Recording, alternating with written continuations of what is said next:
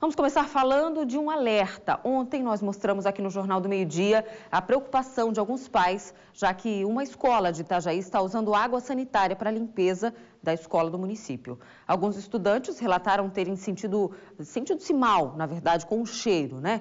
E o uso da água sanitária é muito comum. Você, por exemplo, deve usar esse material aí na sua casa. Por isso, nós vamos saber quais são os riscos desse produto químico para a sua saúde e a saúde também da sua família. Vamos ver na reportagem. Há 10 anos, um episódio fez com que essa diarista mudasse alguns hábitos.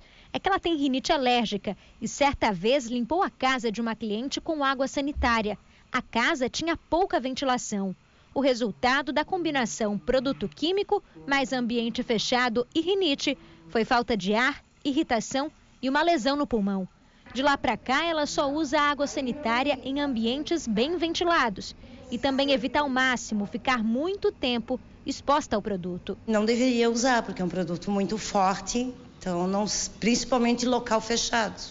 Mas o lugar que eu trabalhava era muito fechado, não tinha como não usar. Água sanitária e hipoclorito de sódio, um produto químico forte e vendido de maneira concentrada.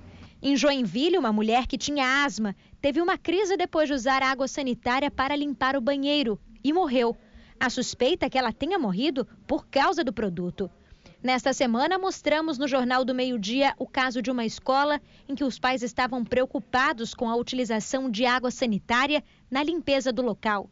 Essa médica alergista explica: usar água sanitária em ambiente fechado pode causar irritação mesmo em quem não tem rinite ou asma.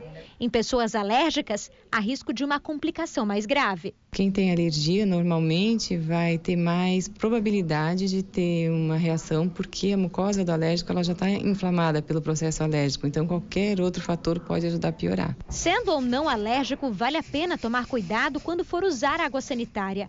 Além de não utilizar em ambientes fechados, há ainda outras dicas. Na própria embalagem da água sanitária dá para ver várias orientações. A principal delas é para diluir o produto que é extremamente concentrado em água, seja para tirar a mancha de roupa ou mesmo para limpar os ambientes. O problema é que muita gente não faz isso e quanto mais concentrado o produto estiver, mais tóxico ele é.